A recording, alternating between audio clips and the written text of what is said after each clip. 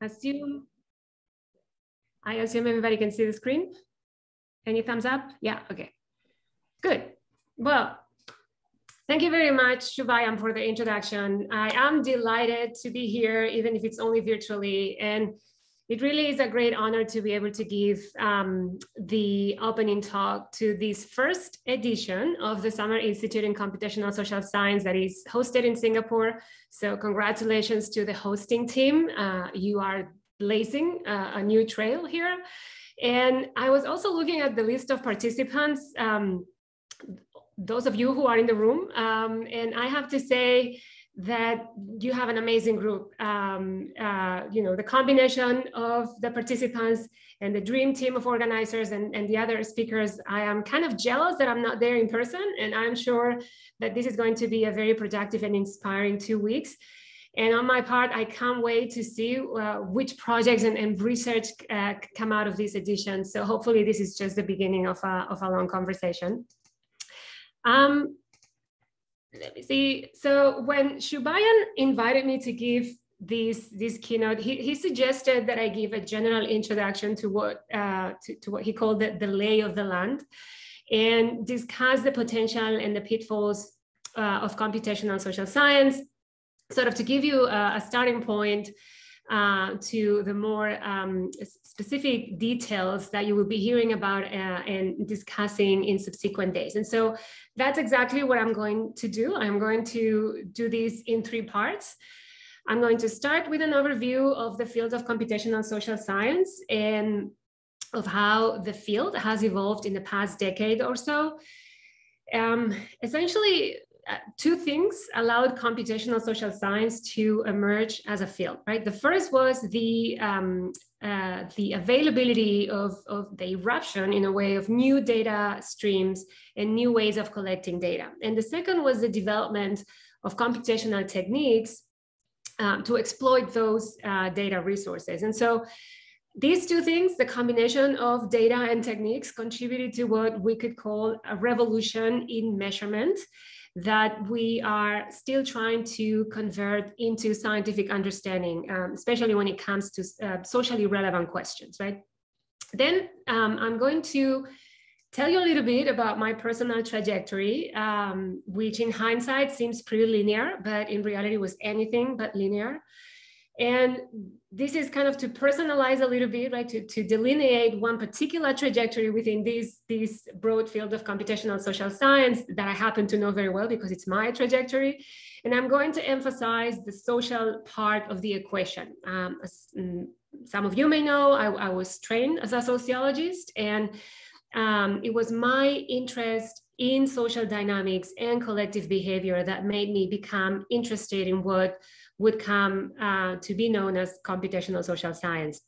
And also in this part of the talk, I will pay special attention to how we can extract socially meaningful insights from data that were not created necessarily for scientific purposes. And then I'm going to discuss some of the challenges that the field confronts today and the problems that um, to my mind, will shape the sort of computational social science research that we will do in the next decade. And you and your research uh, will be sort of the main protagonists in, in these next 10 years. And so hopefully I can also get to hear what you have to say during the Q&A and the discussion session. So let's start and let's start with part one. This is the part where I'm going to give you an overview um, to the field of computational social science and, and, an overview of how the field has evolved in the past decade. Um, and so we start here. As I already mentioned, the two things that allowed computational social science to emerge as a field were one, the emergence of new data streams and new ways of collecting data. And two, the development of computational techniques that allowed us to exploit those uh, new data resources. In 2009, as you probably all know, Science published a short article that is now considered to be sort of the birth certificate to, uh, for, for the field. And this short article, by the way, also reproduced one of the most iconic figures in, in this area, right? The network visualization of hyperlinks connecting political blogs that Lada Adamic and Natalie Glance published in 2005 um, in the proceedings of the third international workshop on link discovery. And now every time we think about clustering or communities in networks, we think about this visualization, right? Um, even though we might not necessarily be thinking about blogs anymore. Uh, but in general, the, the, this is a piece that I think reflects the enthusiasm and the excitement uh, with which researchers approached the massive amounts of data that digital technologies had suddenly made available for research. And um, you know, the, the, key question that this piece posed was what value might a computational social science offer uh, to society by uh, enhancing our understanding of individuals and collectives?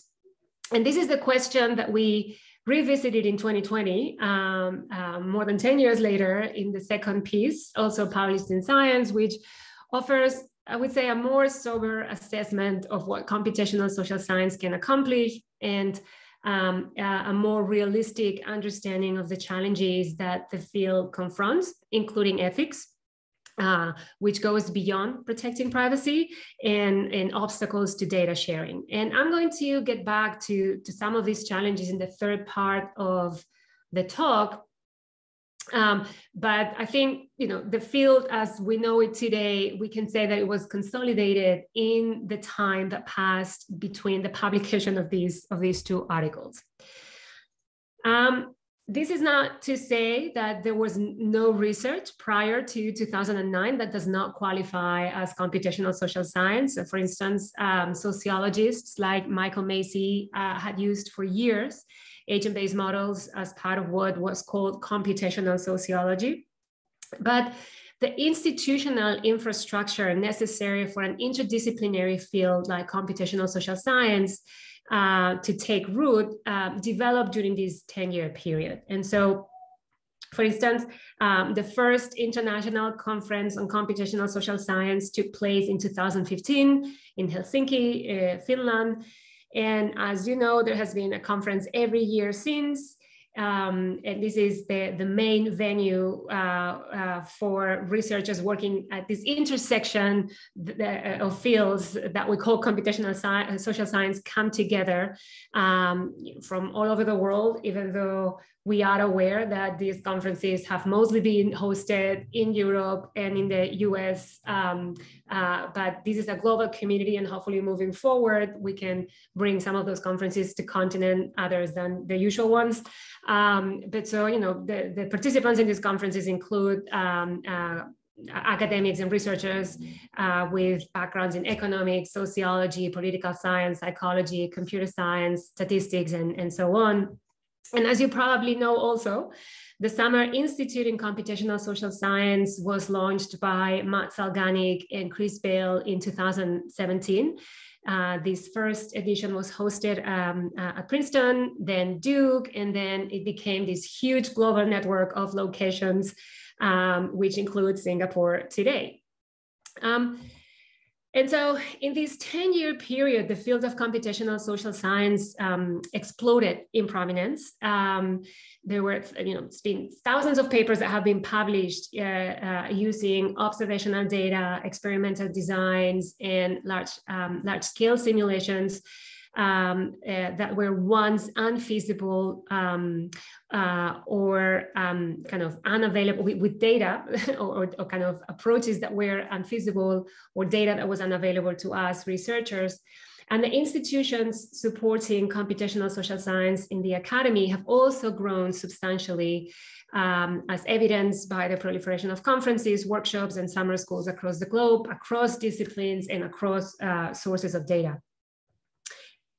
So this is all very well, like very interesting, but what, what is computational social science? We have all these um, conferences, we have these workshops, these summer schools, we have new data sources, but what is computational social science, right? And I'm pretty sure that many of you have heard the typical joke of, I, I use a computer. Is that computational social science? Uh, well, the definition that we offer in the 2020 piece is that computational social science deals with the development and application of computational methods to complex, um, typically large scale uh, human behavioral data even though sometimes we also use simulated data. And I think the key to my mind, the key in this definition is the word complex. Um, um, as mentioned, there are some intellectual antecedents uh, to computational social science, which include research on spatial data, social networks, um, and human coding uh, of texts, uh, images, and so forth. But again, uh, for me, the key is the word complex. I would say that um, the most important difference between computational social science and what we could call more traditional uh, quantitative social science is that traditional quantitative social science makes assumptions of independence among observations. Uh, uh, whereas computational social science uh, deals with that complexity directly, it deals with language, with location and movement, with networks, images, videos, and it applies statistical models that are designed to capture the many dependencies that exist um, within the data. And I would say also that one of the most um, salient problems that computational social science um, uh, um, tries to solve is the problem of how to extract socially meaningful insights from data that were not created for scientific purposes. And again, I think the key here is the word socially, the word socially meaningful, um, um, which is what gives the social to the computational social science. And this is a problem about which um, many of us in this community have been thinking about. Um, in this perspective, for instance, we discuss uh, what it means to be a social scientist in this digital era. Um, and so there are essentially two main ideas that we uh, spell out in this piece. The first is that we can only theorize about what we can measure, um, at least those of us interested in empirical research. So being able to measure matters, right? And the second is that the data revolution caused by digital technologies does not equate to a measurement revolution, right? So yes, measurement matters, uh, but no, um, data uh, on their own uh, does not do not equate to um, to measurement. Um, and in particular, we really want to convey the notion that extracting meaningful measures out of all that data that we now have available is anything but uh, straightforward. And I'm pretty sure that those of you, well, most of you or, uh, or all of you are, are dealing with, with this, right? With the fact that uh, uh measuring things in a meaningful way is anything but easy. And the starting point of our argument is the frequently used metaphor of the telescope, right? The idea that we can now see things that we couldn't see before, and that these will revolutionize the social sciences in the same way that the telescope revolutionized our understanding of the universe, right? Uh, and so we, when we started writing this piece, we wanted to challenge this notion um, that the new data streams created by digital technologies are comparable to the development of the telescope. Um, and so we argue that this is a misleading metaphor because one, the study of societies is uh, completely different from the study of the stars, right? Stars don't get back at you when you say something about them or change behavior just to obfuscate your measurement instruments. And two, uh, we argue that it is also misleading um, because the streams of data that we obtain um, from digital technologies were not conceived for the most part for research purposes, um, unlike the telescope, right? They are repurposed in ways that telescopes are not.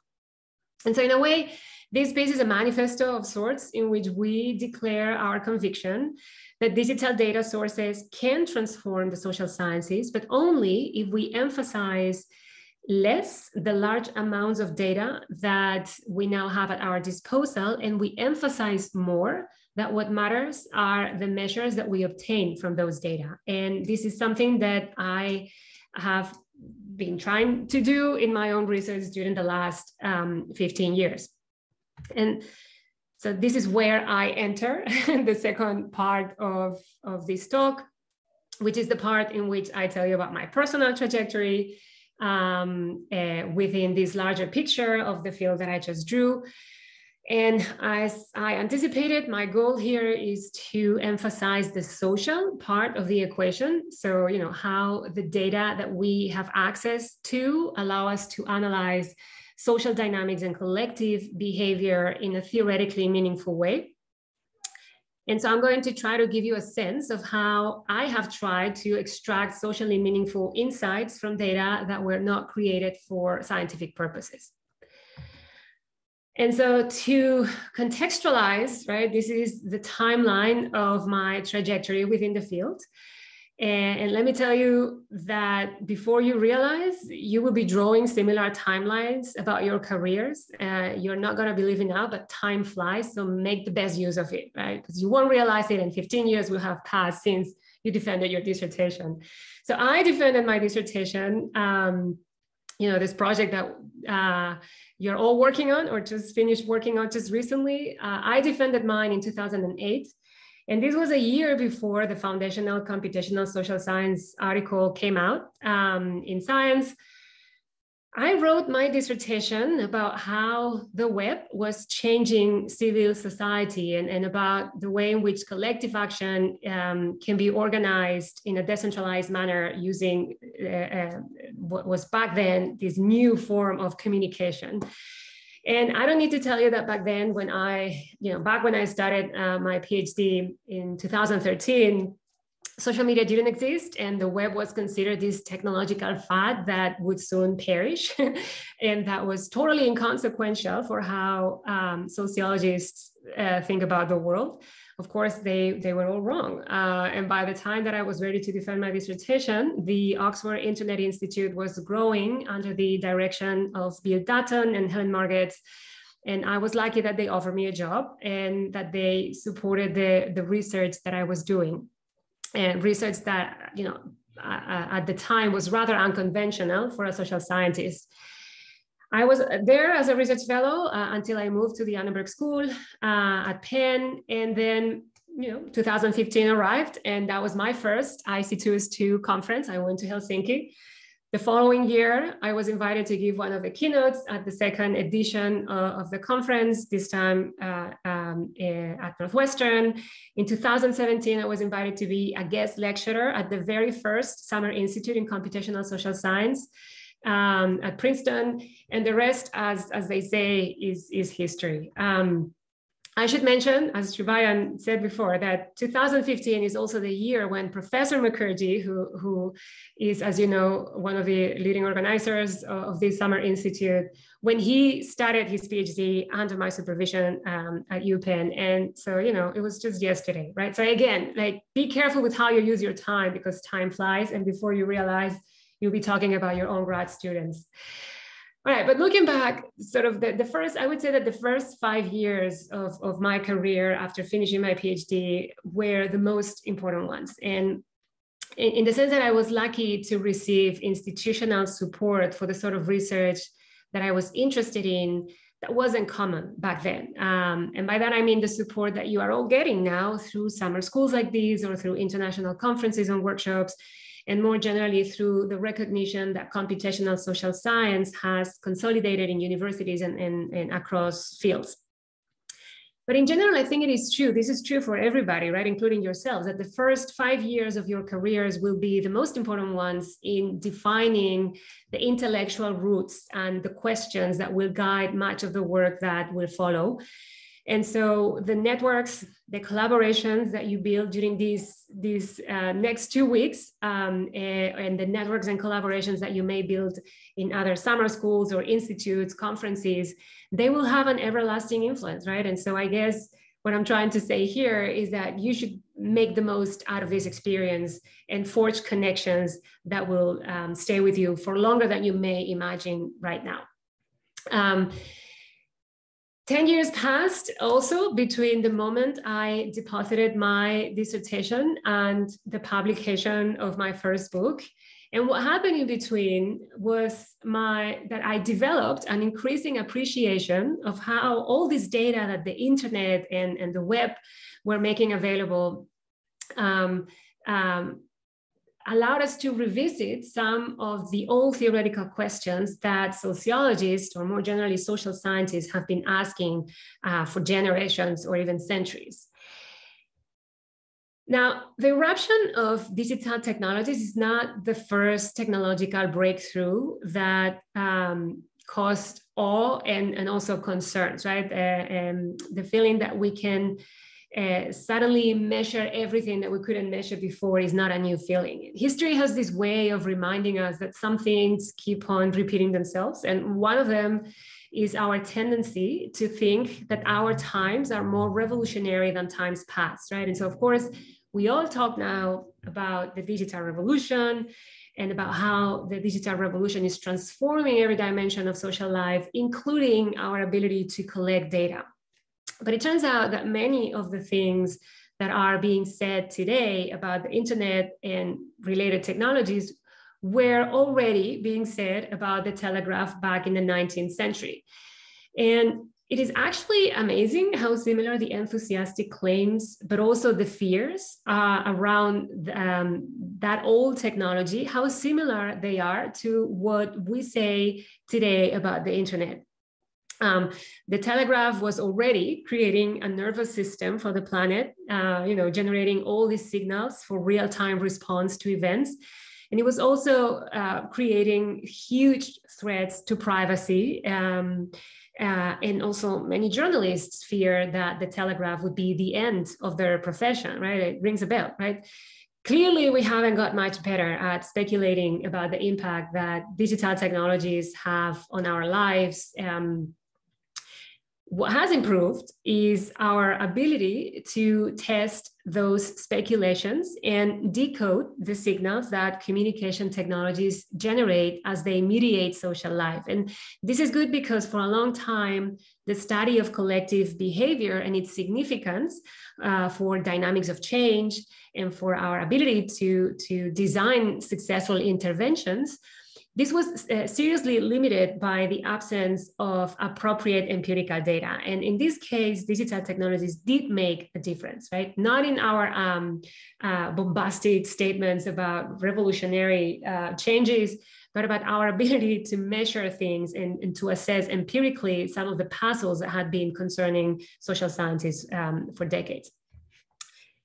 Or at least that's the argument that I make in the book. Um, and so, you know, I, I tried to go into the roots of sociological thinking to uncover um, theoretical intuitions that were very difficult to develop before digital technologies and before computational social science made data and measurement a possibility.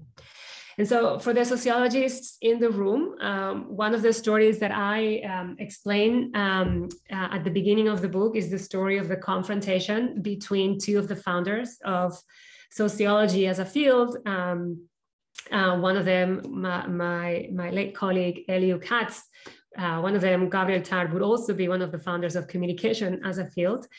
Uh, but so they did have a confrontation because they um, disagreed about what constituted a social fact. And this was no small disagreement because uh, what was at stake was essentially the essence uh, and the boundaries of what back then was an emerging discipline with no defined identity, right? It's sort of like computational social science now that, you know, sociology once upon a time was also this emerging field of knowledge that no one really know how to delimit um, or how to kind of operationalize. And so, you know, they have very different answers to that question. The answer that Durkheim gave uh, to the question was only social structure counts as a social fact. And what he meant by social structure were those group divisions that transcend specific individuals. So when we think about ethnicity or when we think about social class, these are the important explanatory factors that Durkheim had in mind when talking about social facts. But the answer that Tarde gave to this question was very different, right? For him, the elemental social fact was imitation. And this is a term that he used to talk about contagion and social influence uh, as channeled by interpersonal communication. In fact, in, in several places in his writings, he laments not having access to what he calls statistics of conversation, which um, he thought would allow tracing the pathways of social influence and uncover the, the ways in which individuals become a public, right? Um, according to all accounts, Durkheim won this debate. Uh, but this wasn't necessarily because he had the best ideas. Um, you know, he was an insider. He had received the support of the university system, which created the first sociology chair for him. And he was also crucially, cleverly exploiting the best available data at the time, which was essentially census data, uh, data that, by the way, Gabriel Tarde was helping collect, right? But Tarde, on the other hand, eh, in his own intellectual, um, um, you know, agenda, he was interested in things that couldn't be unambiguously measured with the data that he had available. Even though um, these these these concepts, these these processes were becoming um, increasingly important due to the expansion of communication technologies like the telegraph. And so, you know, in hindsight, I, I would go as far as to claim that Tarde was the most visionary of the two thinkers, even though his legacy was for a long time sort of obliterated from the history of, of social thought, of sociology. And so from Tarde, we can trace the genealogy of what was for a long time a frustrated inquiry into collective behavior. And this is another brief timeline of this stream of research, which um, for decades uh, tried to make sense of dynamics that cannot be reduced to social structures and that include the analysis of crowds, fads, fashion, rumors, opinion formation, social unrest, and social movements. If you read this work, over and over, the authors complain about the empirical limitations that they were facing, right? So, for instance, in the 50s, uh, some sociologists wrote, Uh, quote, collective behavior is not yet an area in which generalizations can be presented in precise form and with the backing of experimental or quantitative evidence. In the 60s, some other sociologists wrote, quote, because of their magnitude and complexity, collective phenomena are not directly amenable to observation under the kind of rigorously controlled conditions most sociologists would choose. And no wonder, right? Collective behavior is by definition spontaneous and unpredictable. And this makes it very difficult to analyze. In the 70s, things start uh, changing a little bit uh, with the first mathematical models that offer the possibility of conducting more sophisticated thought experiments. But again, those developments were limited by the fact that they could not be validated with empirical data. And this is what digital technologies finally changed, right? Underneath all the buzz and all the hyperbolic language, digital technologies really made a difference in terms of what they allow us, social scientists, uh, to, to study. And so obviously the consequences of this measurement revolution are too far reaching for a single author monograph like my book to do justice, which is why I also co-edited the Oxford Handbook, which is a volume that um, uh, compiles the contributions of uh, dozens of scholars across the world uh, and with different disciplinary backgrounds to examine why digital networks have transformed a wide range of social phenomena from political behavior to organizational communication, from how we think uh, of space to how we accumulate social capital. Now, in general, I would say that there are three levels of analysis that digital data and computational social science uh, allow us to study. The first is the study of aggregated patterns of collective attention with a focus on temporal dynamics. The second is the analysis of uh, networks of information flow with a focus on the structural properties of those networks. And the third is the level of individual level mechanisms that make those other higher level dynamics emerge. And so, you know, these three levels of analysis are interrelated. Um, and the um, empirical analysis of networks uh, as they emerge and evolve is instrumental in understanding how they come together. And I think this is partly the reason why I became so interested in networks um, uh, because they offer this connection between what happens at the level of individual behavior and what we can observe on the aggregate when we take measurements on a societal or on a group level.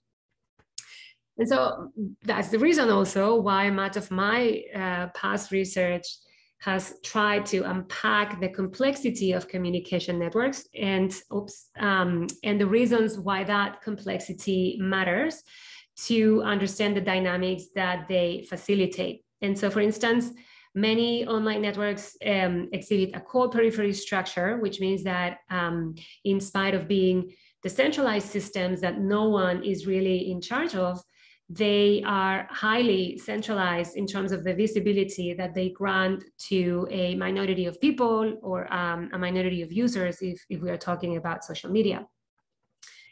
Uh, much of my prior work also tries to unpack the fact that networks are not stationary objects, right? We need to consider the temporal dynamics of communications and decide how to best encode those dynamics in the networks that we analyze and then um, much of my past work also tries to understand the ways in which networks trigger unintended consequences, right? So it's not only that networks emerge as a byproduct of individual decisions, that are local and myopic. It is also that diffusion processes in those networks um, also arise as the unintended effect of individual actions uh, in ways that are difficult to anticipate. And this is the reason why, um, for instance, virality is such a rare phenomenon, or why successful uh, massive mobilizations are also the exception, not the rule, right? If they were easy to predict and easy to anticipate, they wouldn't be so interesting. Now, but really the bigger picture here is that my interest in communication networks stems from the role that they play in several interrelated layers of our uh, societies, right? The first is the organization of collective action, and in particular, the ability of what has been called the ability to organize without organizations. A second layer is the information ecosystem, right? And how networks shape our access to news, to misleading content, and to other types of political information.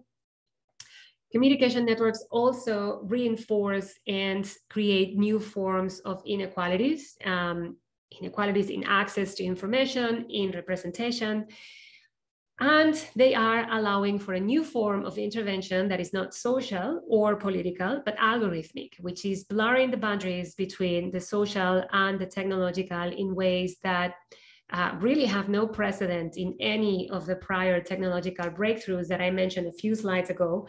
Um, so this is really a new and perhaps the most prominent feature of our current technological revolution. And so I kind of ordered these different four areas in a chronology of sorts. Uh, I started my research career with an interest in collective action and process organization. Um, and since my research agenda has expanded uh, with the last two buckets less developed than the first two, but um, I would say that my current research and, and a lot of the research in, in the field of computational social science uh, is active in all these areas and um, and I'm pretty sure that many of you are also developing projects that would fit in some of these areas. And so eh, I'm, I'm also interested in hearing about your thoughts on how to develop uh, the front, the, or how to push the current frontiers in, in these different areas. But you know, the way I thought about these when I started research um, on collective action, um, you know, it was more than 10 years ago when the Arab Spring seemed to start a, a chain reaction of protest uh, activity. You know, there was Spanish indignados, and the Occupy movement, then the Umbrella Revolution, then protests in, in Taksim Square. And this is um, a line of research that has kept me busy, right? Is, is uh, I think the, the, the reason is that what matters is not so much how a particular platform allows information to diffuse in a particular way. The reason is that social media platforms or technologies are reflecting dynamics that are social, right, that are sociological and therefore that transcend any specific manifestation in any specific technology. Um, but some of the dynamics change as a function of changes in the technological affordances of those platforms, right? And so I recently published an article with a co-author, Manlio De Domenico, uh, on two episodes of Contentious Politics, the Yellow Vests movement that erupted in France at the end of 2018 to demand economic justice, and we also look at the Catalan referendum for independence from Spain, which took place in October of 2017. And so one of the goals that we had in this research was to determine how much of the volume of protest related activity came out of automated accounts um, or bots, and whether these accounts were trying to manipulate the information circulating through the network. And again, talking about affordances and talking about uh, how people make use of, of technologies and how that use evolves over time. No one thought about bots when I was writing my dissertation, and I was already thinking about how the web, as a form of um, uh, of, of communication. Um, you know, no one talked about bots back then, back then right? And so um, uh, the processes um, reflect the same sociological mechanisms, but those mechanisms are shaped by what technologies allow people to do. And so you know, we wanted to test some of the journalistic claims that were being made about the influence that bots had on the information being diffused during these contentious events. And, um, um, you know, uh, it turns out that many of those accounts were exaggerated and that they don't seem to receive a lot of empirical support. Another recent example of the power of online networks in coordinating plot protests is the Black Lives Matter um, uh, protests that erupted in the US uh, and also globally in the aftermath of um, George Floyd's killing in June of 2020.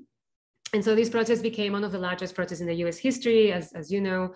They also consolidated the Black Lives Matter as a, as a global movement. And so we do have a paper covering these mobilizations uh, where we um, not only show that social activity tracked on the street uh, protests, social media activity, they were reflecting actions that were taking place on the street, but also that the stream of communication around these protests was flooded by right-leaning news sources.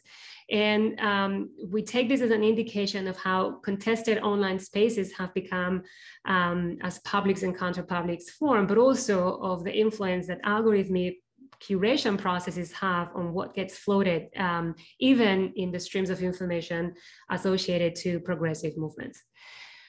Um, Moving to the information ecosystem bucket, here I am uh, together with, with my team of collaborators, we are developing a research agenda that tries to understand the consequences of having transition from the broadcast era when the number of news sources were limited and most citizens were exposed to the same information to the current era of network communication, which is um, as you know, characterized by a long tail of media options and by rising numbers in the supply of news and so, uh, as you know, uh, again, this digital transformation has changed uh, how news are supplied, but also how they are consumed. And so research tells us that there are uh, long tails on both sides of this equation. On the supply side, there are many sources, uh, but only a handful of those sources attract high levels of attention. The rest create pockets of specialized or niche audiences and on the demand side, there is a minority of politically interest, uh, interested individuals who drive most of the action we measure on the aggregate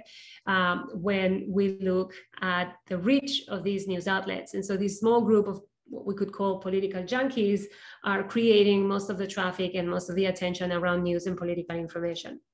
And so uh, a huge fraction of the research that uh, we're doing in my group, and also a huge fraction of the research that uh, many colleagues in this area are doing um, uh, tries to unpack all these concepts. And these are just two of the papers that came out recently of this research stream.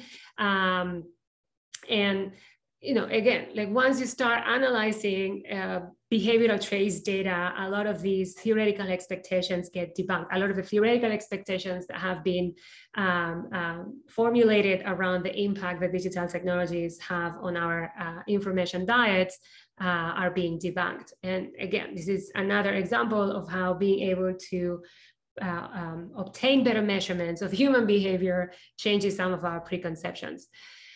Um, and I'm moving to the digital inequalities bucket. These are two examples of research um, on digital inequalities. I recently published an article with Isabel Langrock, who is currently a PhD student at Annenberg, where we map gender bias in knowledge representation in Wikipedia. Um, even after feminist interventions tried to alleviate existing gaps. Um, the more general question here is in this particular paper is the downstream effects that bias on Wikipedia or other databases of knowledge may have, especially since these databases are being used to train automated systems, um, uh, machine learning models, or to allow, say, your home Alexa to have a conversation with you, right? So if there is a bias that is intrinsic uh, to databases like Wikipedia, then these biases will percolate through the rest of the technologies uh, um, that are um, leveraging uh, the database. And then as a spin-off, um, in a way of our work in information ecosystems, I'm also working right now with Tian Yang, who's a former PhD student and who is now um, an assistant professor uh, in the Chinese University of Hong Kong. So we're working on a paper where we are uh, looking at inequalities in access to political information. And here we are analyzing two large behavioral panels tracking exposure to news on TV and the web, including YouTube. Um, we have an overlapping subset of panelists uh, um, that allow us to track what the same individuals were doing when they were watching TV, browsing the web, and watching YouTube. And this is our way of identifying the political junkies that I was mentioning before but also um, the um, you know kind of finding the demographics of the larger set of individuals who opt out of news consumption altogether which has implications for how we think about the role that information plays in our democracies. Is the vast, if the vast majority of people are opting out of news consumption, when what, what does that mean about uh, uh, the way in which we think um, normatively about epistemic democracies? Um, and then there's the area of algorithmic interventions, which is something that I started thinking about more systematically when my Oxford colleagues, my old Oxford colleagues, asked me to participate in a piece on future directions in research at the intersection of uh, the internet and public policy. And so I wrote about what uh, it means to demand transparency in this algorithmic uh, society, which really is not that different from transparent the transparency that we demand in research and open science. And my thoughts on algorithmic interventions have been um, greatly informed by uh, an ongoing co uh, collaborative project um, with Facebook, now Meta, um, that some of you may have heard about. There was a public announcement when we started the project back in 2020. This is a first of its kind research partnership that we started early in 2020 between the then Facebook, now Meta, and a team of, of about 17 independent researchers to study the impact that the platform would have in the back then forthcoming presidential elections. Unfortunately, um, and, and, much to my frustration, I cannot say much about the findings um, until they uh, they are embargoed until they go through peer review. Uh, we do have findings now, and I can, you know, so so hopefully they come out soon. But what I can talk about uh, is the logistics of what it means to demand transparency. In this case, about the electoral impact um, um, uh, of social media uh, platforms. And so, you know, being able to demand this sort of transparency requires access to pipelines uh, uh, for data extraction that go beyond what most, if not all, universities have in place. It requires teamwork over many, many hours, months, in fact, years, to come up with the right questions, the right measurements, and ways to overcome computational limits in what we can accomplish today with the current state of the art. And it requires a paradigm shift in how we do research um, across industry and academia, right? Research that has societal relevance. And so I put this type of collaborative research in the algorithmic interventions bucket because uh, one of the things that we are trying to parse out with this research is how much of what happens on social media is algorithmic amplification versus social amplification. And I don't think I will disclose anything new to you if I say that most online harms today have social roots, right? Not technological roots. And so, what we are demanding of these platforms is to put in place measures that alleviate or prevent those social harms. And so those measures are by necessity algorithmic. There is no way of scaling up interventions otherwise. And so I would say that this is one of the areas on which the outputs of computational social science research can have the most impact. And again, I believe that uh, some of you uh, are, are, working in, in, this area. And so again, I would be uh, very happy to hear your thoughts about ways of developing uh, this area of work. So really algorithms permeate everything that I've discussed, including our measurements, which is, uh, so essentially what this means is that all these buckets of research um, interests uh, uh, are really not that neatly compartmentalized, right? Nothing in, in reality is so neatly compartmentalized. The levels of analysis are all interrelated and those different areas uh, uh, or research domains are all interrelated and constantly interacting with each other. And so exploring how these themes connect with each other is uh, really where the core of my research, but also I would say the core of a, a, a huge fraction of, of, of, this community lies. And of course, there's many other buckets, which uh, because I'm talking about my personal trajectory in the field, I'm not including here. Uh, but since computational social science is mostly devoted to parsing out complexity, we should never forget that complexity is also intrinsic in how we conduct research ourselves, right? And so, and how we, uh, for the purposes of publishing um, uh, discrete papers or discrete books, we have to compartmentalize things, but that in reality, they are all in, interacting with each other. Okay, and so uh, in spite of how promising the research that we're doing and the research that the new data and the new methods allow us to do is, there are still many difficulties um, that we still need to overcome. And I am now officially entering the third and last part of the talk.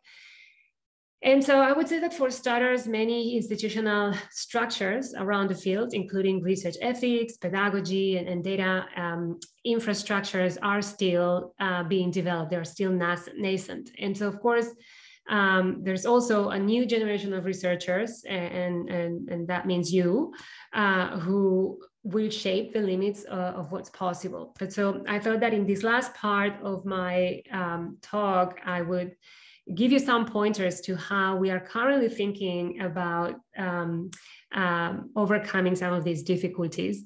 But the understanding is that this is just the starting point for a longer conversation in which you and, and your generation will, will have to start contributing or, or you're already contributing to. And so to my mind, the, the two most important challenges that we have to think about um, have to do with platform control of data access and ethics. And um, we discuss uh, these challenges in, in detail in the paper that I already mentioned at the beginning of my talk. Now, increasingly, uh, the data that we need to make informed decisions and to advise policymaking about, say, you know, how to curate online content or how to regulate the role of platforms. Increasingly, the, the data that we need to, to make informed decisions lies in the hands of the platforms themselves. And even though there are a few initiatives that allow us um, to strengthen collaboration between those platforms and academic or independent researchers. And you know, the Facebook 2020 project that I just discussed is one of those initiatives.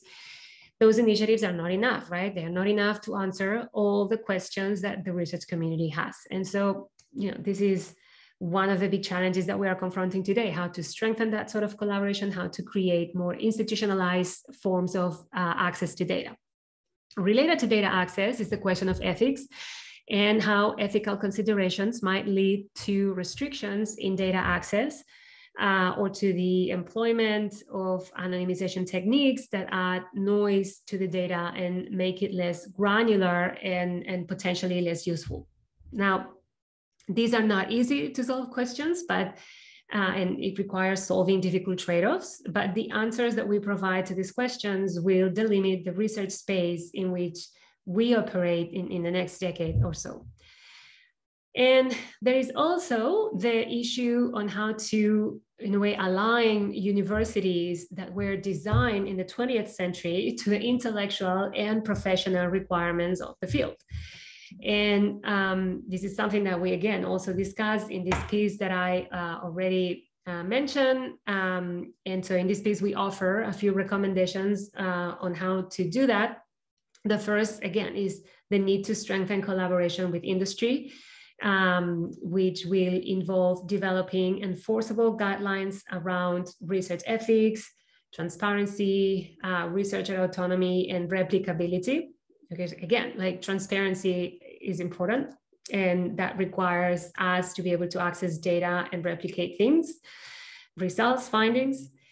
The second recommendation is about designing privacy preserving shared data infrastructures that support scientific research, right? So it's, it's good to forge collaborations um, and partnerships with industry, but we also need to create um, publicly funded re research infrastructures um, that uh, overcome some of the conflicts of interest that uh, collaborations with industry always um, have to deal with. Um, and again, this is an institutional, uh, it requires institutional support in, in the form of funding um, and, and so forth.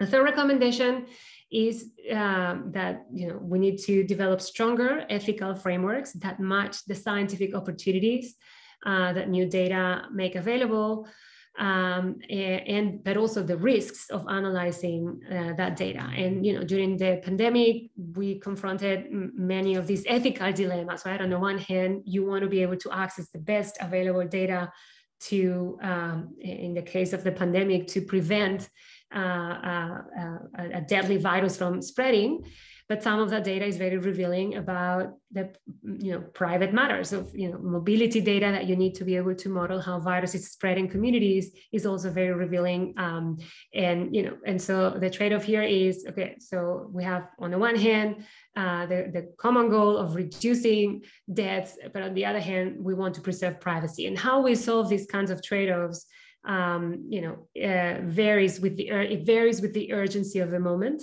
um, and so the question of what are we going to do with that data when the pandemic subsides, if it finally subsides, then you know it's a question that requires a public discussion and agreement. Um, and what kind of access is legitimate access?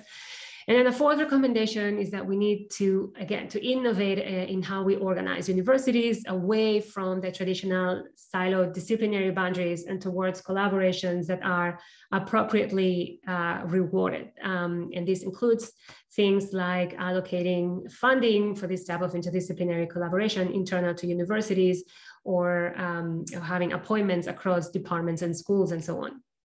And so all of these are institutional recommendations right, that require uh, sort of recommendations that are intended to improve uh, the infrastructures and the institutional conditions in which the research that goes under the umbrella of computational social science can, can prosper and, and thrive.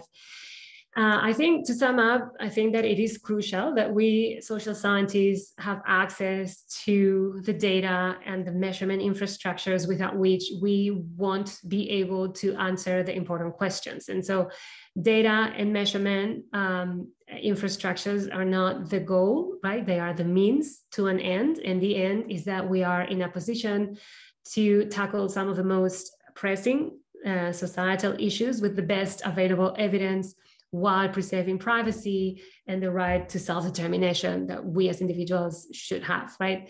Um, and so, you know, um, again, these are not easy to solve questions, and the next 10 years will be key in um, in determining how we solve these issues and the kinds of research that we uh, that, that we can produce.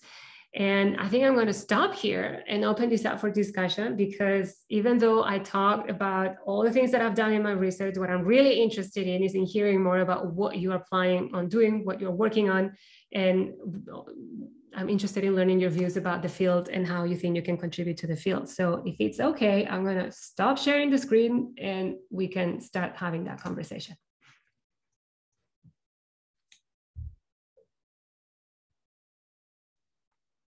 Thanks so much, Sandra. Um, it was really illuminating, and I'm sure uh, those of you who um, are both have some understanding of the field versus have uh, are still new to the field uh, got a sense of what we're going to be about for the next two weeks.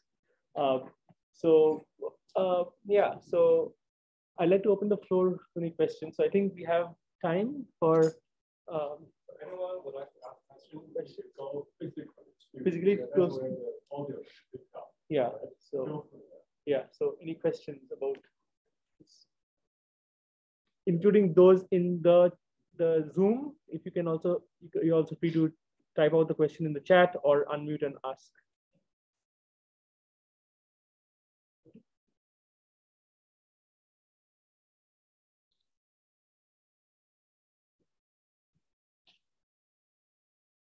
Still.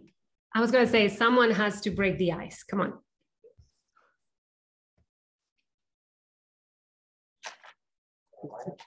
Okay, sure. You want to come close the mic? Yeah. When, when do I speak? You can just, this is the mic, so you can just speak close to this. And you can introduce yourself, that'd be great also. Uh, sorry. If you can introduce yourself, that'd be great also. Uh, yeah, uh, can you hear me? Yes. Okay. Um, so I'm, I'm currently a, uh, a PhD student.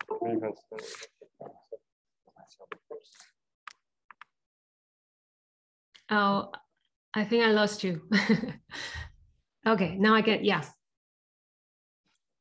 Uh, yeah. So I'm a PhD student. I'm currently working on um, machine learning in healthcare and with, with a focus on like uh, uh, kind of like privacy preserving um, machine learning across like multiple institutions. And then uh, in the kind of in the last part of your talk, you talk about like um, uh, building infrastructure, about like share infrastructure that uh, kind of uh, allow multiple institutions to, to share data in a uh, privacy preserving way. Um, and uh, currently, uh, one, of the kind, kind of like uh, methods I'm, I'm, I'm working on is federated learning. And mm -hmm. it's kind of like you have like uh, multiple institutions and they kind of have their own data. But there's this method that allow you to still like build build model on the data, but without sharing any data at all. So you, you kind of like uh, can, can build model from multiple data sets, but you, you don't see the data. Um, like I, I have questions. So uh, you know, like the data, they might have like biases, like they, or maybe maybe from the, the data collection process, um, one example is like there might be you because of the collection process, there might be like one group that is like overrepresented, overrepresented in the data set. Um, I, uh, and so uh, usually, um, so like, you know, in, in um, yes, like count, uh, like you, you deal with bias in a data set when you can see the data is already complicated, right? So may I have a question like, um, do you have any like idea on how we like count uh, when we deal with like bias and fairness when we deal with data from like multiple sources and some, sometimes we don't even like, see the data at all. Mm, yeah, that's a that's a great question, and I'm afraid I don't have an easy answer for that question, right? Like so, but understanding, uh, and this is partly the reason why I put so much emphasis on the notion that data and measurements are different things, right? Um, and so, determining in which ways your data may be perpetuating certain biases, or what are the, the kind of the digital shadows that are that are um, uh, limiting the generalizability of your data. I mean, it's difficult to, to find what those limitations are, what those biases are, if there's no appropriate documentation or there's no, uh, you know, that can help correct potentially for some of those biases. I mean, no data are perfect. We know that, right? In empirical research, that's the, you know, uh, there's no data source that will be perfect, but some are better than others. And so um, blindlessly kind of linking different data sets uh, without a proper documentation of how that might be um, of the biases that you're carrying forward in your analysis is uh, you know it's one of those things that you shouldn't do right um, and um, you know, and it depends on the context of the data. It depends on the questions that you want answered. You know, uh, it's difficult to, to give a, a, a, an answer to your question that can generalize across, but it's definitely one of the first things that any analyst, any researcher uh, should think about, you know, what ways may my data be biased? It doesn't matter how large my data set is, uh, but what is it that is not represented in this data? Or, you know, are, are the measurements that we can extract from the data um, uh, you know, um, biased in a fundamental way such that anything that we may conclude from the, the analysis of these will be flawed, right? Um, and so yeah, when you are connecting different data sets, if each of those data sets are linked, uh, sort of are biased in different ways, or the data generation mechanisms are different and that's not properly documented, like blindly just like piercing data sets together will only amplify the issue, right? Uh, but yeah, I mean, it's interesting. Uh, uh, thanks, thanks for letting me know about the work you're doing in this in this regard. Yeah.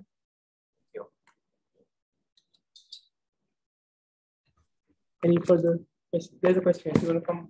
Sure. Yeah, watch out for this part. We'll have longer question. Uh, yeah, or, or, you can just, you can just send the, okay. Question. Cool. All right. Uh, hi, Sandra. My name hi. is Raccoon. I am a first year assistant professor at Penn State, actually. So I'm your noisy neighbor, um, four hours away. And my question, I would like to ask you about your experience dealing with companies, uh, specifically, you know, in looking backward, what have been the biggest hurdles in terms of getting collaboration with like uh, firms, and you know, how do you, overcome them? Mm. So, I mean, some, some, yeah, I mean, the, the Facebook 2020 project in particular, this is an effort led by my colleagues, Josh Tucker and Talia Stroud, who spent a lot of time making sure that the conditions were there for the collaboration to succeed. And by the conditions, I mean things like, you know, so, you know, there's a, process, you know, of um, of deciding which questions we want answered and then determining what data needs to be process to answer those questions. And then you know how much freedom and independence we academics will have in the process. And so kind of the rules of the game need to be negotiated before you start playing. And so this was this is a, a you know it's a huge collaboration. Um, and, and, so you know it took a lot of effort on behalf of our leading coordinators. And then once we started the we, we, we started to to roll the ball then you know efforts from on behalf of all the academics but also the data scientists at Facebook to make sure that we were respecting those rules and that we were doing things as negotiated, right? And so hopefully this is, as I said, it's a first of its kind collaboration because other types of collaborations with with with industry are more uh, are smaller, more local. About you know you know someone and then you start collaborating with them. In this particular case, uh, it was different among other things, because the academic researchers are getting no financial compensation. This is not a matter of you going with an internship or, or a consulting job, right? To guarantee independence. Uh, but also the, the goal is to, in a way, institutionalize what made this collaboration work and whether we can then generalize that to other, you know, to other um, companies uh, to, to, collaboration with other companies or to allow access to any researcher to to the, the data resources. Because that's the difficulty right? How can we make this one of example of what successfully uh, sort of hopefully will be a successful collaboration? And this is something that i will only say confidently once all the papers are published right? We are in the process but we are not published yet how can we generalize that so that we can institutionalize it? So that it's not the exception but the rule right? And so my experience has been it is not easy right? So to, to do this uh, uh, in a way that give us what we need uh, in terms of answers to the questions that we deem important is not easy even when everyone industry and academics are putting a lot of effort in this and you know a, a lot of good intentions. It is not easy right? It takes a lot of time and effort and it needs resources right? And so again like um, uh, you know that that's you know beyond you having good research questions and good research ideas and and um, uh, and beyond you being able to execute a good research, you need the infrastructure and the institutional support, right? And so, what I have learned is that it's not easy, but it's possible. And so, hopefully, once all these papers are out, we can have a more open conversation about what we all learn through this collaboration. Um, and I'm pretty sure that again, like the the the project uh, um, leading coordinators uh, Josh Tucker and, and, and, Talia Stroud will also talk about their own experience about how they managed to make this work. So that's one part of the answer. Of course, there's, as I said, there's also other avenues of collaborating with industry. You know, many of these companies have the ability of you for you to send either students or go yourself and spend some time doing research in situ. But then, you know, you have to think about non-disclosure agreements and you have to make sure that you understand what the, the process to publish is because sometimes they don't want your results to be published, right? And so uh, sometimes they want you to go there and do research and they might find useful your research for their own internal purposes, uh, but they don't let you publish it. Uh, or if they let you publish, they may not let you publish their replication materials and things like that. And so that has implications that are more specific to your own career, right? And so you're an assistant professor, you're thinking about tenure, I imagine.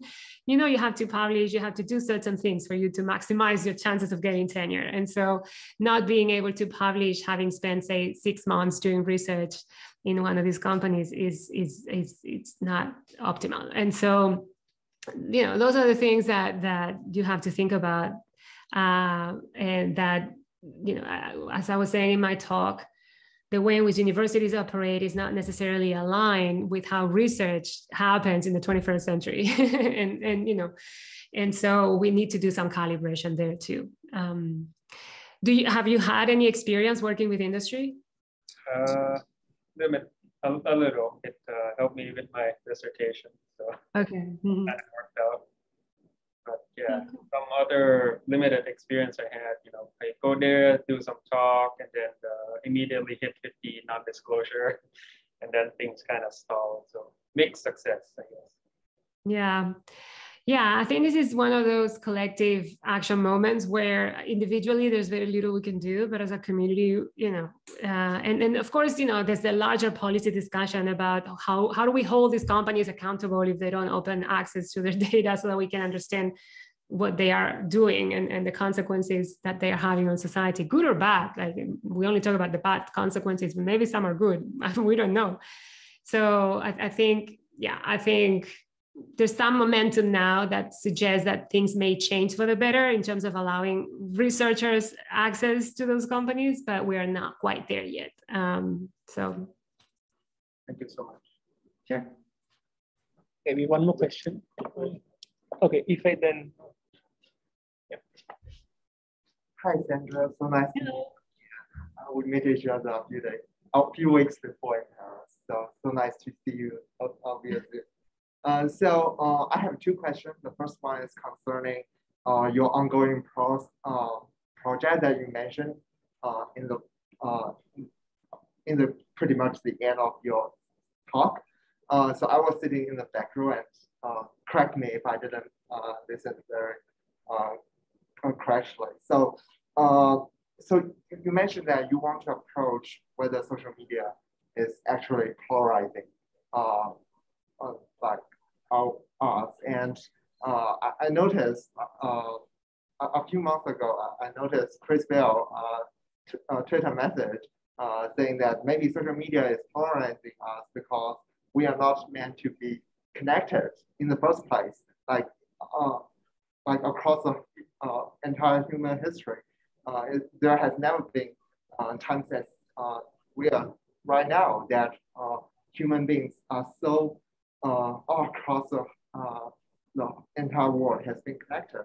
So, uh, so I was wondering, uh, like, such factors might, uh, so, so if we are looking at like how the information uh, exposure online might drive us forward, we might look into the wrong direction, or there are, might be a, a lot of compounding variables here. So I, I, um, I just want to know more about your project and your thought on that.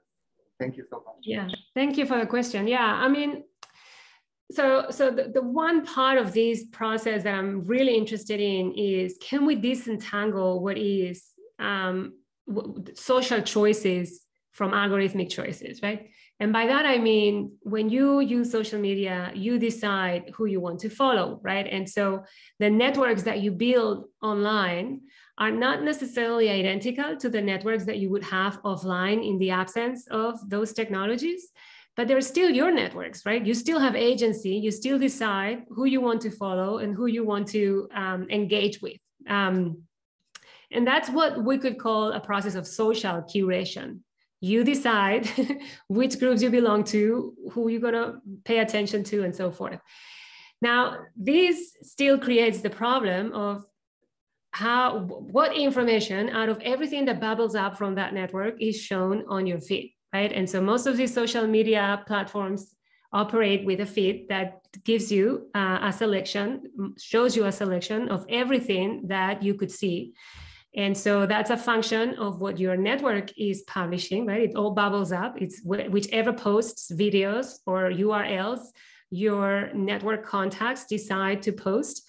That's a set of content, right? And then from there, you have a process of algorithmic curation that determines what exactly are you going to see out of everything that you could see kind of right and so um, uh, and so you know these are there's a constant feedback loop between the two things right because as far as we can tell like algorithms are kind of black boxes that we don't fully understand but these algorithms the curation algorithms that determine the information that you see are using social signals that derive from your behavior, the behavior of your contacts in the network, and a bunch of other things, right?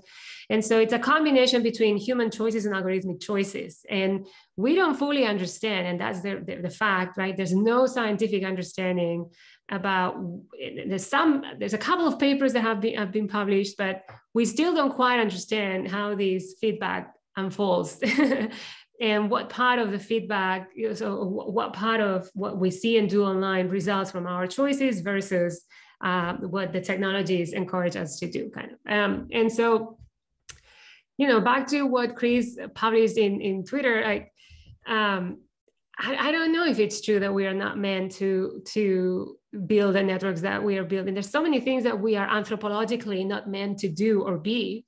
we are not meant to wear glasses either, or you know, we are not meant to use computers. We are not meant to do a lot of things that we didn't evolve necessarily to do the things that we're doing. So I'm not sure that's true, right? But what what really matters is, um, you know, are we just using uh, like a, a um, are we just using a scapegoat uh, to to find something to blame in, in these platforms and in these algorithms just because it's easier than trying to understand the complexity of the problem right? And so the, you know I, I think that it's, it's a temptation to always blame it on technologies or the platforms or the algorithms for things that go wrong because it's way harder to look at us and, and realize that we are the problem. And of course i'm simplifying what could be a very complicated question but uh, to, to me, this is an empirical issue, right? And we still don't quite understand what causes what, right? Is it the algorithm? Is it our choices? What, what is it, you know? Um, so, but hopefully people like you can help us understand this better. I was also like thinking about what it's another chicken or egg question again. So, but uh, it's interesting to like how it unfolds. Thank you. Thank you. Yeah, so we can move it.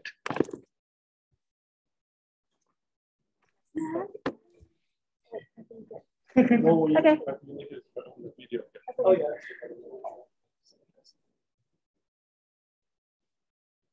Hi. Hi. Yeah, um, so my name is Amy. Um, I'm actually a psychologist, so quite new to the computational side of things. Um, Welcome. Yeah. Um, kind of one uh, question to like check my understanding and then I follow on onto that.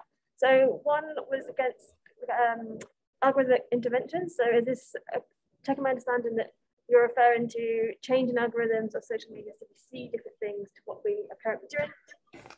Um, and then the follow up to that is kind of how likely do you see companies actually adopting this if say we can show that um, if you change your algorithms this way and it has a positive benefit, how likely are companies to adopt that given that I guess at the moment, uh, most of the uh, algorithms around kind of adverts and kind of promoting and getting the best out for them, uh, kind of, and how that balance could uh, play out.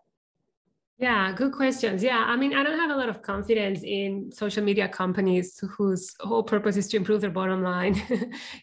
how interested they are really in making in making society better necessarily, right? So I'm not sure they would voluntarily uh, necessarily do whichever recommendations we social scientists have about what they should be doing.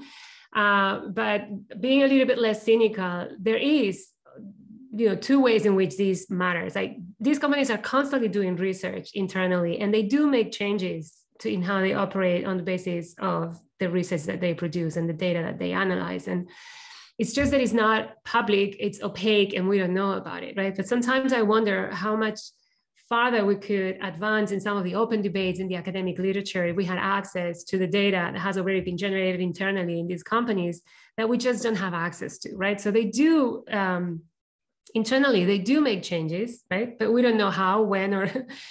but also there is increasing um, public pressure, and it's going to be it's increasing pressure to regulate these companies. And regulations require evidence, right? The evidence-based policymaking requires data. And so um, maybe these companies are not willing to introduce whichever changes we decide can make things better. But this is why we have regulatory efforts to kind of enforce uh, those, uh, force them to, to enact those changes, right? And again, I'm not necessarily sure that the regulations that are currently being discussed uh, will make a difference in terms of how these companies operate.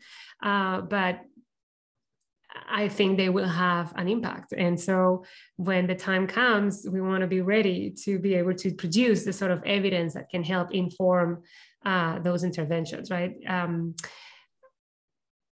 the other part of the answer is that, you know, some questions are really tough to so it's easy to say oh let's analyze data so that we can de- design interventions that are effective it's this is always easier said than done right then you do the research and you realize that things are not so straightforward uh, but um, i think that's the case with all sorts of research in general right but i do think you don't need the companies to be willing to change i mean there's other avenues to kind of force that change, right? If they're not willing to do it themselves via regulation, for instance. Thank you.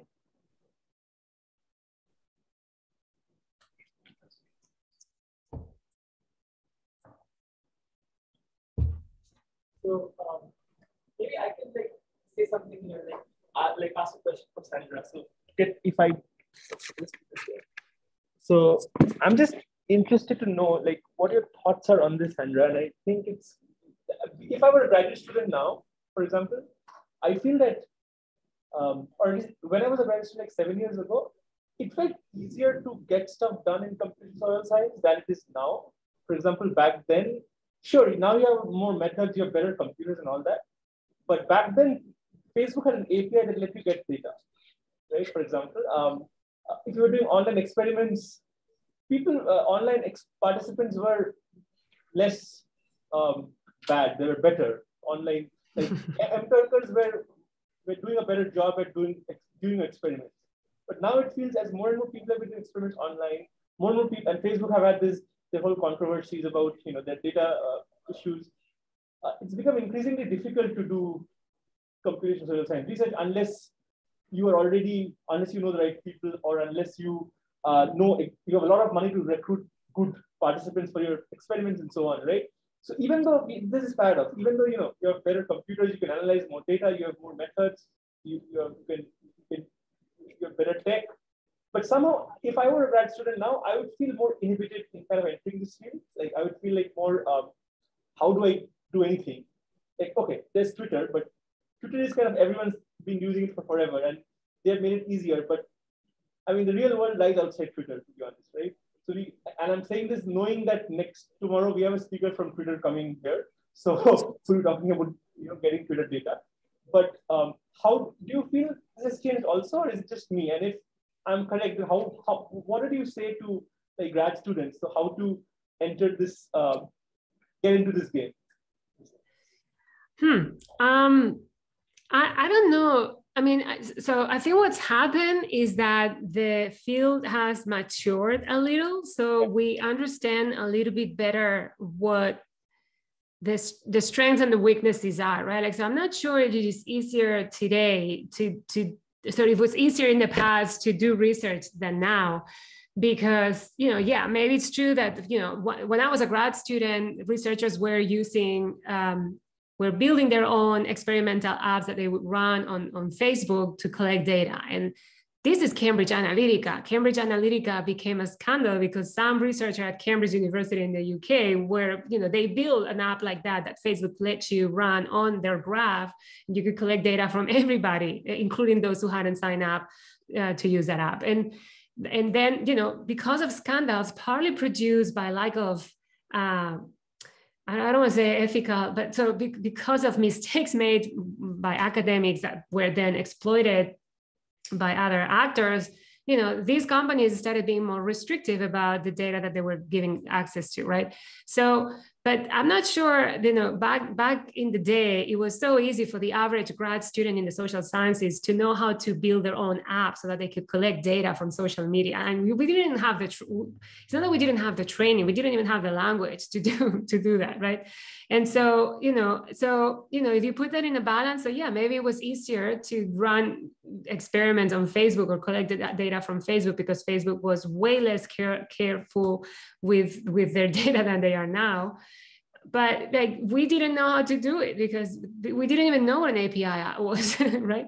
So i'm not sure about that. Um, I, I, do think that when a, a, field matures and there's more agreement about what the standards of evidence are and what amounts to good research bad research, you know, um, things become more demanding, right? Like, so it, becomes more difficult to publish because the bar is higher and things like that, right? Like, because you are not discovering a new continent anymore. There's already a map. There's, you know, there's already people are building things. And so um, the standards, be, that changes the standards, right? Um, um, but I think that's good. That's a good sign. Like you are on average better prepared than any of my peers and me included when we were in your position, right? When I was a grad student, we didn't have half of the training that you have today. And so you are better equipped so that we should demand more of you right? We should demand more of everybody because we know more. We are better. And so um, so I, th- I think i understand why you have that feeling right? Um, but as a grad student it, it's true also that you always wonder how am i going to contribute? How am i going to make a difference? How and, and you don't realize that when you're a grad student, really the sky is the limit in terms of what you can learn and what you can accomplish, right? Um, and I don't think that has changed, right? It's, it's still possible. I would say that there's more things that are possible now in terms of research than they were in the past. Um, but I do understand why you might have that feeling, Subhayan. I mean, I think this is um, a little bit like the, the glass that is half full of or half empty. I think you know we our impressions of what's easier or difficult also depends on on on our you know our own predispositions to think nostalgically about the past versus um, not nostalgically about what's coming right? And so i'm not sure i'm not sure i agree with the conclusion but i can see why you feel that way. I, I still suspect that you know you are all of you in a much stronger position to make a contribution than we were when you know we were when i and my peers were grad students just because we didn't even know what was possible back then or you know or, or what we could do um, so yeah so I, I still you know I, I have high hopes uh, and I'm pretty sure you will deliver, all of you uh, uh, in this institute, as you should buy and deliver yourself. So so be demanding with your students. That's all. right. Any further questions? Yeah, sure. Yeah. Uh, hi, Sandra. Uh, hi. Thanks for the talk. My name is uh, Inkiat from uh, NUS Computer Science Department. Maybe just a just a quick question more on the computational side of the house. Yes. So, your background in sociology, so I just wanted to hear from you. Perhaps what where, where do you think the computer scientists or the data scientists can contribute more? I guess to put it another way, what, what is your wish list for the computational side of the house to, to bring value to, to, to the whole uh, CSS endeavor? Everything, everything. I mean, the comp. I mean, I emphasize the social part, but computational social science without computational is nothing. um, and so, um, it's not so, so it's, some of my colleagues would say that uh, computer scientists um, don't necessarily have problems. They want to offer solutions right? You bring the problem they give you the solution. I don't agree with that. I think computer science as a discipline has a way of thinking about problems that is super valuable in itself right? In terms of defining the boundaries of the uh, of, of your research and in terms of defining um, the parameters and how you would operationalize and break down and kind of the modular structure of, of how computer scientists think about solving a problem, right? Like, so, um, which is epistemologically, it's very different with, from how social scientists have traditionally been trained to think about what's a social problem and how you do you solve a problem, right? And um, and so it's not just so so this is me saying that the com- computer science part of this and you know i worked a lot with physicists myself uh, and, and applied mathematicians via network science right? And so networks is also one of those lingua francas that cut across disciplines um, and so to me, it wasn't only that by collaborating with colleagues in more technical disciplines, I could improve the tools that I was using uh, in my uh, uh, to, to, answer my questions, right? Uh, it was also that the, the, the, way to formulate a problem changed and the way to execute a research design to solve a problem changed. Um, and, and I found that immensely valuable. And I think that's immensely valuable for the field as well, right? And on the flip side that creates issues sometimes for collaborations right? Like that you know that creates obstacles and sort of sometimes you know it is difficult to to find a common ground and to find a, a, common language because you come from such different you know expectations of what counts as a you know even what is a theory right? Like i talk a lot about in my talk about sociological theories but even what is a theory the answer to that question changes depending on whether you are a mathematician, a physicist, or a computer scientist, or a, or a sociologist, right? Like we have different definitions of what counts as a theoretical contribution. Um, but I think the, the, the value of, of, computational social science and you know the past 10 years, there's been enough work done in this domain that I think we have now a, a common ground of common understanding. And we do understand that you know there's an intersection where we can all work productively together. And then of course each of our of our disciplines you know, there's pockets of, of, of debates or, or issues that we can only solve with other sociologists or with other computer scientists, right? And that's when you don't do computational social science. I think computational social science is the magic that happens when you have all these you know when you have when you work on this common ground of mutual understanding uh, uh, in terms of what is a problem how do you solve a problem and what counts as a theoretical contribution um, but yeah, I could talk for hours about everything that I have learned uh, from from colleagues in computer science or, or physics or, or math. Um, and it's not just the tools, right? It's the way of thinking, the epistemological approach to to finding answers to questions. So.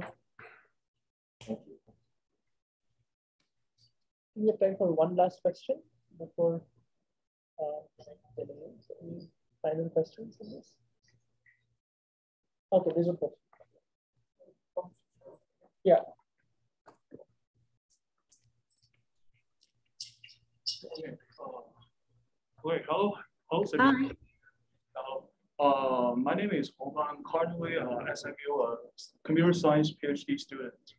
So um, uh, I, I want to ask a slightly uh, practical problem. So in a in the social networks, so there, there can be a data structure like the graph. So uh, how do you think the, that, uh, that structure can be uh, further applied uh, by the by the like the computational uh, techniques, or to say the AI models, like the current very uh, very hard like the graph models in artificial artificial intelligence field. So how how can they be integrated with those uh, graph models and uh, between the graph models and the and like the uh, graph data structure in the in the social networks. Yeah, that's my question. That's my question. Okay, so let me let me repeating so make sure that I understood. So the question is whether there is um, some connection between how we think about social networks um, uh, and how we use graph theory to make sense of uh, so to build some of these machine learning models. Is that the question? Uh, yeah kind of. The yeah it's more uh, it's more like the more more uh, it's kind of a high, higher level so um, not too much uh, technical technical details. It's just to how we can how we can better analyze the the data structure of the graph in the in the computer, uh, in, the social science field that look like the social medias. There are many uh, graph structures, data like the different peoples uh, following each other, like in, yeah. yeah.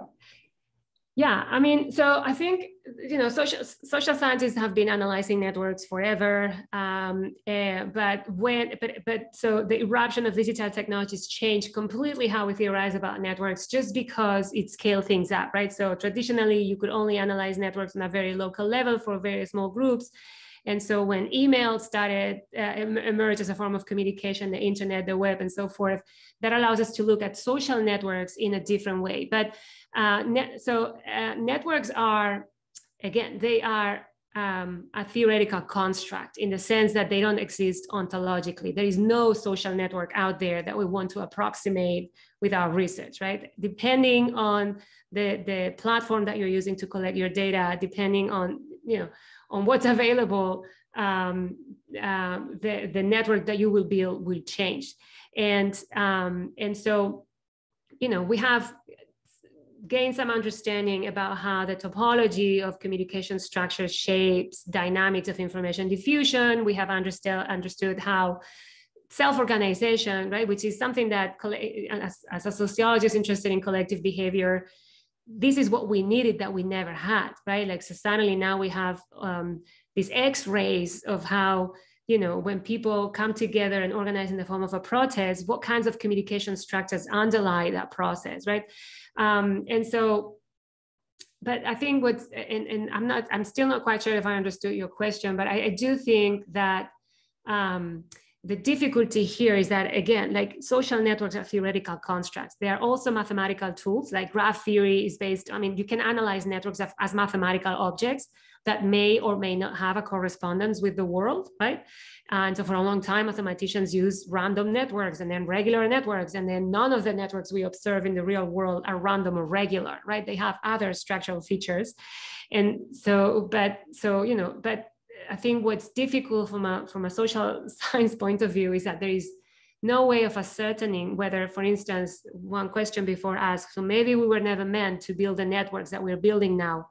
But it's not that we, you know, but you know, when we compare the networks that we built online, we don't have a clear benchmark of what what are the natural social networks that we would build in the absence of technologies partly because the only way to measure those networks is through the use of technologies um, so, so I think, uh, you know, the, so, so that's one part of my answer. And, and you know, I'm going to give you a, second part of my answer that maybe it's not addressing the question directly, but the other application of network theory or kind of graph theory that I think is super fascinating has to do with meaning and with measuring um, symbolic uh, structures, right? How we relate concepts, for instance, more cognitive perhaps, but this is, you know, when you have an opinion about some policy issue, how is that related with your opinions about other policy issues, right? And so you can represent those associations that are symbolic that they have to do about how, you know, when you think about uh, one concept, what is the next concept you think about?